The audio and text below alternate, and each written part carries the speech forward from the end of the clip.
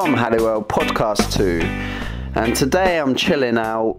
I'm working on my new book that will be out next month, uh, The Beginner Guitar Guide. And I'm working on an online guitar course for beginners too. So that's all exciting stuff. But having a rather chilled out day today as last night was an epic night. I had a gig with my band Origami Heart and it was a great gig. Great gig, great audience.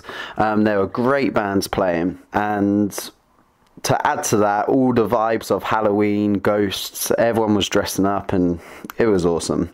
We went as prisoners, which was quite funny. And yeah, just really great gig. I we turned up. We had our own dressing room. We had our own backstage part, um, and the organisers even gave us uh, some like cakes and drinks so that's very rock and roll. Love it. So today's topic is getting started with guitar. That's for all you people who want to play guitar, you don't know how to get started, or maybe you have a guitar um, and you still haven't got started. And that sounds a bit um, sounds a bit weird, or shall we say, sounds a bit unusual. Yeah, why would someone buy a guitar but then never play it? But it's very common. You know, I've had quite a lot of students who phone me up and they want to get started with guitar and they've had a guitar for like a whole entire year or sometimes two years and sometimes 30 years. They've always had a guitar they want to play it but they just don't. So we question that why why does that happen? And it's very common. So if you've got a guitar and you haven't played it you're not alone and if you're looking to get into guitar or if you think okay i want to play guitar but maybe i'm i'm too old too young or uh, my hands are too big i'm not musical um, this podcast is for you. So, yeah, I've just told you the common myths that a lot of people have. So, we'll just go over them basically. And so, the first myth is yeah, I'm too old for guitar. Maybe you're in your 70s, maybe you're in your 60s, maybe you're even in your 40s or 50s and you think you're too old.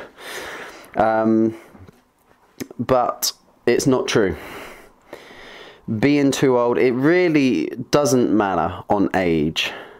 What matters more is consistency and practice. That will always override things like age. Okay, um, I I say yes. If anyone can start guitar, as long as they're age, you know, four and above, anyone can start yes, if you're 70, I've taught 70 year olds. Um, I'm starting a 73 year old student next week. And yeah, you're never too old. And guess what? Every year that goes by, you're only going to get older. So you may as well start now anyway. And as long as you get the right method and you learn a guitar in the right and correct way, yeah, if your teacher, yeah, tries to jam a load of chords down you on your first lesson, you're not going to pick it up and you're going to give up, of course, but everyone's like that. Um, and for the young guys, um, you know, maybe you're a parent listening to this. Uh, the the little young kids who are age four, sometimes three, you can they can still start guitar. Um, I would say age two to four you won't really be playing much guitar. They'll just play a couple of strings, uh, do a bit of picking, and we'll do a lot of like clapping and getting rhythm exercises, things like that. And we'll do very basic, very basic one finger on the fretboard things. And you'll do that for about two years until they get to about four or five. And that's when they can basically learn like anyone else. Um, obviously, the practice sessions for four or five year olds do need to be short. They need to be 10 minutes. If your child or if the kid wants to carry on playing, then that's great, let them. But most of the time, they don't, from what I figured out. Um, So the best thing is to do is to, yeah, 10 minute practice sessions every day, consistency, yeah? We're going to be speaking about consistency a bit later on. What's another common myth? Okay, my hands are too big. That's, again, just an excuse not to play or not to practice. Um, you know, hands being too small or too big again, it really doesn't matter. You always find a way how to play these chords. You might have a slight, slight, slight disadvantage if your hands are too small for some of the complex stuff later on. So maybe you might not be able to do Eddie Van Halen uh, fingerings for scales, but definitely you're going to be learning the basics. You can do chords. Um, if a seven year old can play some chords, I'm sure, you know, you with your small hands as an adult can play chords. So again, it's all about starting off on the right foot, starting off correctly. I'm not musical or I don't have talent. That's another common myth I hear. And I don't believe in talent. I don't believe in superstition or some mythical talented person that when you're born all of a sudden you got the genes of being a good guitarist. I don't believe in that. You know, we all we all start off the same in this world, and the people that succeed are the people that put in more hours than the others.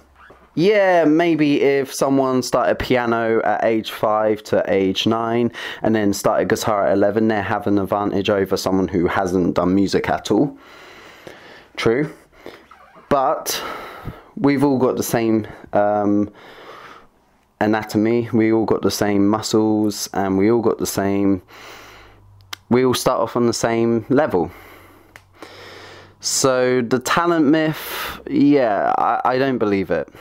Um, because if you look at all the pro professional players, look at Randy Rhoads, look at Slash, look at Jimi Hendrix, look at Jimmy Page, all of them, Eddie Van Halen, all of the greatest and quote unquote most talented guitar players in this world, they've all had one thing in common. They've all put in massive amount of hours. When we talking massive, we're talking massive. Eddie Van Halen, I read up a lot about him and he used to practice something ridiculous like 8 to 12 hours a day. And i think he used to stay up all night practicing until 4 a.m in the morning. Um, see that's massive amount of action. But people just see the final product. People just see him on stage shredding away um, and think, oh my god, he's so talented, he must have been born with that. When they totally don't see the thousands of hours that he's put in um, beforehand to get to that stage. So just think all the final products that you see, all the final, you know, Randy Rhoads at his best, they've all put in their thousands thousands of hours beforehand. And that's what you need to do if you want to get that good as well. There's no secret to becoming professional. There's no quick fix. There's no yeah, this is the one guitar trick, and you'll learn this trick, and then you can be a guitar hero or master. No, no, no, no. It's all thousands of hours, thousands of hours. Okay, and of course, you can do things that um, cuts out your learning curve, so you can become better um, quicker, and we'll speak about that maybe later in other podcasts about how can you maximize your time to um, get very good and improve maybe double the speed that a normal person does. Um, so let's dive into the podcast. Um, I've got it down to about five steps. Yeah, there's about five steps um, to getting started with guitar. And the first one sounds so simple, but it's so true. Buy a guitar the amount of people that spend just um, thinking about it. You know, oh, I want to play guitar one day. Oh, I wish I played guitar. and they don't even buy a guitar. They just spend all day thinking about it. And you'll never play guitar if you don't buy a guitar. So, um, what I say is don't wait to see if you like it because that's another thing. I'm, I get a lot of people that ask and they say, Well, I need to. Can I just use your guitar um, or borrow a guitar every week, every lesson um, for a few months until, you know, I need to see if I like it first. And um, I just say you shouldn't do that. You should buy a guitar and go, I am going to become a guitar player. That's, you can choose that. You know, you shouldn't pick up a guitar and think, right, let's see if I like it. Because to be honest, the first three months, most likely you're not going to like it because we don't like in this world what we're not good at. Um, there's loads of things that I'm not good at and I don't like them. I don't like dancing. I'm not good at dancing. I don't like swimming and I can't swim. So we like the things that we're good at, but we seem to not like the things we're not good at. So waiting around to see if you're going to like guitar, you're not going to like it in the first three months. You need to just buy a guitar and have the goal and know that in three months, in six months, if you learn the correct way, you will love it. Um, the next question with buying a guitar is acoustic or electric? Oh, it's easier to start on acoustic, a lot of people say and I, I think it's not true. Buying, I would say, whether you start on acoustic or electric, it's down to um, what style you're going to play. Now, I've released a YouTube video quickly about it, but I'll go into more depth now. So, if you're thinking of becoming a rock guitar player, definitely buy an electric. Buy an electric guitar for the first one um, if you're thinking of becoming a pop guitarist, acoustic, you want to sing along with it, yeah, buy an acoustic for your first guitar. Um, it really doesn't matter if you learn on an electric or acoustic, none of them are easier. They they feel a bit different. Um, so for an electric, the strings are closer to the frets, so it's actually easier to push down. Um, but an acoustic, it's obviously you don't need to buy an amplifier, um, so it's a lot more. What's the word? Convenient for someone starting guitar because they just need the guitar. With an electric, you got to plug it in and plug it into the amplifier, and you got to know about how to change the sound on the amplifier. And that's really the the advantages and disadvantages with an acoustic and electric. Um, acoustic, yeah, it's a it might cut your fingers a bit more. Um, if we're talking about steel string acoustics, because there's another thing about classical guitars with the nylon strings, um, you know, the free strings that look like plastic. I, again, I, I don't know. If you want to become a classical guitarist, learn on it, but you, I don't really recommend those guitars for your first guitar anyway, because all you do is learn. Uh, you you play on a classical guitar for the first two to three months, and then you start playing, um, learning songs and learning some performance pieces, and then you just want a new guitar anyway because you you it doesn't give you the sound that you want. So buy an acoustic, buy an electric. I would avoid classical guitar unless you want to get into classical guitar. So that brings me to um, oh one thing about step number one as well is do not learn theory first. Don't feel that you have to learn musical theory before you even start guitar. Um, it sounds weird, but some people do it.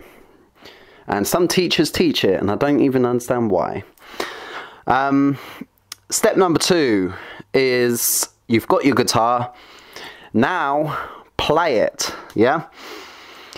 You'll be surprised, like I said, is how many people have a guitar and they don't even play it. They just let it collect dust. You don't want to be in that category. You want to start simply. You don't want to um, overcomplicate things. Now, starting guitar, a lot of people will buy guitar guides and they'll buy like learn guitar in 30 days um, and obviously those books promise something but they won't deliver what they promise. They say learn guitar in 30 days. And you get to 30 days and you've haven't even practiced or you've opened the first two pages and they're starting to, what do they teach you? A lot of guitar guides start teaching you string names first and teaching you like the parts of a guitar and this is this and this is a pickup and this is a neck and it's just all confusing for you um, i would start with picking on one string yeah so you're getting a feel for the guitar down on um, the thickest string and up on the thickest string. Now I go over it, watch my beginner guitar lesson, I think it's on YouTube, uh, picking. Watch that video and obviously next month I will be releasing my guitar guide which will take a beginner from who knows nothing about guitar to the first three months of their playing and how it should be and how structured it is. Um, that's a cheeky little upsell. so yeah, yeah, definitely. Start simply. Start with picking. Start with one finger chords. Yeah, uh, if if you if you're reading these books and they're teaching you like three finger chords on six strings, um, definitely do not start with that because that will you realize it's hard it won't sound good, and you'll give up. Because we don't like things that we're not good at. Um, yeah, so that's that. And as I'm then after you learn those one finger chords, you'll be learning your three string arpeggios, and that's just picking down on string number three, down on string number two, up on string number one, up on string number two, and it goes. It's just doing that, and then you can add your one finger chords when you're comfortable with the picking. Yeah, so we're breaking things down super simple. If this sounds complicated for you, um, don't worry. Uh, in December or January, I'll have my beginner guitar course out that's coming out and it's a video course showing you again the first three months of guitar playing so if you're getting confused already um, you can watch my free videos that I've got on picking chords and arpeggios on YouTube um, and then I've got my full guitar course for beginners, for people who haven't touched a guitar. Um, so that course would be for you guys. Anyway, so step number three is um, consistency. Once you once you know, or once um, you know you've you've you're starting to practice your picking, you're starting to practice your one finger chords, you've bought a guitar. The next thing is consistency. You need to be playing it every single day. If you're not playing guitar every day, yeah, your results are going to be weird. They're, you're either going to get it or not. So you need to be very consistent. Um, that means 15 minutes a day, 20 minutes a day, half an hour. I say all my adult students. If you can do half an hour, that's great. If you're age uh, seven to 12, 20 minutes is fine. And if you're under seven, uh, 10 minutes. So that's what I would say. And again, you you got to accept that your fingers will hurt. You know you your think your left hand fingers will hurt a little bit from the strings. And that's okay that's totally normal. That doesn't mean that you, guitar's not for you or you don't have talent. And you should accept that at the start for the first three months you're not really going to sound too good. Yeah there'll be little parts of the guitar playing that will sound great but you're not going to sound like slash in three months you know, he's been playing for years 10, 20 years, 30 years, I don't know, something like that. So just accept that. And the more you practice and the more consistency that you have, so you practice seven times a week and you do half an hour every day um, the more it comes a routine, and that's what you want. You want a routine where it's it's kind of like brushing your teeth. You always brush your teeth because it's a routine. You always have a bath. You want guitar practice to be like that as well. So I always recommend having one particular time slot every single day that you can do and make that time just for guitar. Turn off your phone, turn off Facebook, make it just for guitar. And yeah, the better you get, so the more you practice and with consistency, the better you'll get. And this is where it gets interesting because the better you get, the the the more you actually start to want to play. So I've got a great student called Connor. Really wonderful student. He's been playing guitar for 6 weeks now and I'm amazed by his results. He's already learnt his first performance piece, and this week he's practicing his second performance piece. And I feel now he's starting to really get into guitar because at first you're thinking, is guitar for me and all that stuff. But now he knows he can play guitar. He knows that it's all about action taking, it's all about consistency, it's all about repetition. And now he's like, wow, so if I, you know, I taught him this performance piece and he got kind of, he could play it at a very, very slow pace, which is fine, normal. Um, he's going to be practicing it all this week because he knows repetition. He will be able to do it if he keeps repeating it. And I'm very looking forward to Thursday where he's going to play it for me. If you're thinking of guitar, I would say within your first four weeks you can play a performance piece. Um, that could be a simple thing like Twinkle Twinkle Little Star. Um, it can be a little melody, melodic type of uh, song. It could be Ode to Joy. Yeah, you can play that within four weeks. Anyway, step number four is find a good teacher or enroll in a good course. Wink, wink. um, yeah, find a good teacher. This is crucial because this can make or break your confidence. If you've got a, a bad teacher who maybe even has good intentions, but he just, yeah, he's complicating things too much for you. He's teaching you um, in he's not breaking things down enough for you. It's going to destroy your confidence, and you will give up and feel like guitar's not for you. Yeah, and you will feel like um, there's a certain percentage of people who, you know, guitars, you know, born into their genes that they can just play guitar, but there's a certain percentage that can't. It's all down to the teacher. And so that's why I say find a good teacher. And uh, yeah, it's very hard to know what a good teacher is because every teacher on the internet is saying they're a good teacher. But ask them these three questions. Ask them, first of all, do you have a structured learning process? Yeah, do you have structure to your lessons?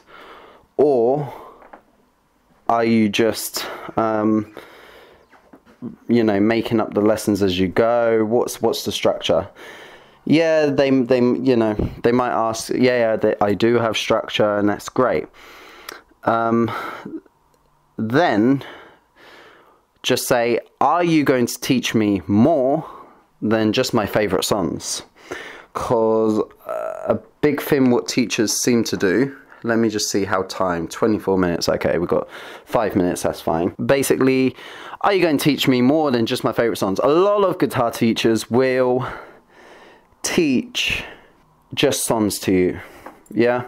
They will do that just to keep you as a student. They'll be like right all i got to do write a list of your favorite songs. You write a list on the first lesson of your favorite songs. Um, they might teach you a C chord on the first lesson, and then they'll go home, look at all the songs, and go, Right, I know that one, let me teach that one to him. And then what they do is just teach you your favourite songs. So you hoping that you stay happy and that you carry on uh, tutoring with them. It's a bad idea because you don't learn the fundamentals of guitar.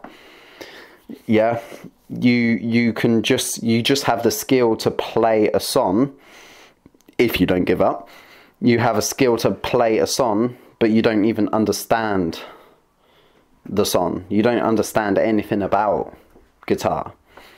Yeah, so you couldn't speak to a, a musician. So um, it's it's crucial you learn the fundamentals of guitar. You learn what picking is. You know what chords are. You know what arpeggios are. You know what scales are. Yeah, you learn all those things, and then when you start learning songs, you go, ah, this part of the song is from that scale. I understand it. And when you understand it, it's easier to remember and easier to play. So I give an example. I taught my student Connor, I taught him Twinkle Twinkle Little Star. And a week before, or two weeks before, he learnt uh, the. He learned the C major scale and so I taught Twinkle Twinkle Little Star, and it was using a C major scale. Perfect example. And he understood it much better because he's already played the scale. Um, and the next question you need to ask the teacher is what results can I expect in three months? Yeah? Say, what can I expect in three months? A lot of teachers go, um, I don't know. Depends how good you are, it depends on the person. And if they're saying it depends on the person, depends on all this, they're not really following a structure. Because as a teacher, you need to have dates where you're thinking, right, this student should. Yeah, some students learn a bit faster than others, but um, if they all practice, they all pretty much learn at a very similar speed. So where can you well where students can be my students can be in three months is they can have three to four performance pieces um, that they can play. They understand the fundamentals of guitar. They know what a picking is. They know arpeggios. They know scales, chords. They know um, they they even can listen to a song and tell if the the chord pattern is going higher or lower. Um, yeah, they just know they will have a basic understanding of guitar, which they might not be able to play three, um, sorry, six string chords on three with three fingers, or they might not be able to play um, three note per string scales, but they will understand what they are. And that's crucial because the skill levels we can amp up and we can keep going, keep going, keep going. That's what we do you just learn the fundamentals of guitar and then increase the skill on each of the fundamentals. And you become a better guitar player. Um, so that's that. Um, step number five last step before i go is massive action and inspiration. So once you learn all those steps, yeah, once you can pick up your guitar every day, consistency, and once you're learning from a good teacher and you're going through a structured program or method, then what separates good guitar players from okay guitar players and from the guitar gods is massive action Absolutely. That's the only thing that separates them is the guy who can pick up his guitar and spend 8 hours practicing awesome things.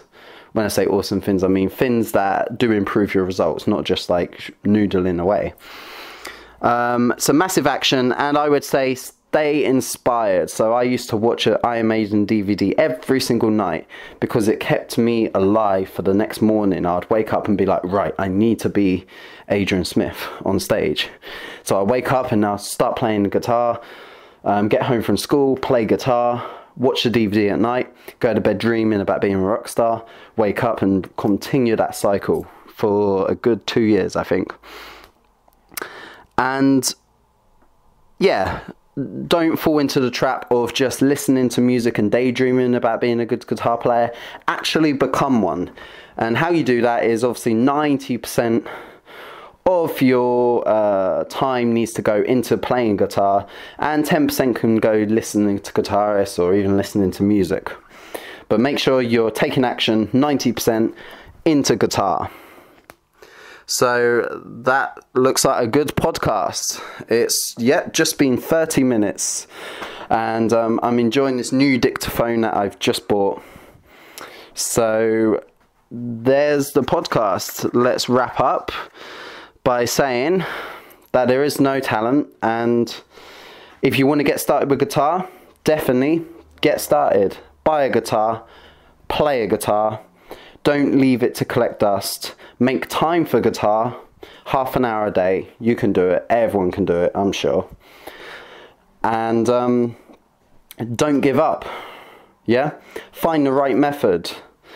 Uh, cheeky little upsell. My books, my book's coming out next month in November, but you probably still need a good tutor to go through that with you. And um, uh, I've got a video course for beginners, guitarists, coming out in, I would say, end of December to January, start of January. Um, I'm recording it in the end of November, then editing it. So I would say end of December and that'll be for you guys um, who really want to play guitar but don't know where to start. I'm gonna put everything out so simply that you're going to follow along with each of these lessons and you're going to get to the end of the course and you will be able to play three or four performance pieces and you will understand the fundamentals of guitar. So thanks a lot, people. Um, I'm going to go and eat some dinner now as I'm real hungry and then work on my projects a bit more. Ta-da! Have a good day, everyone.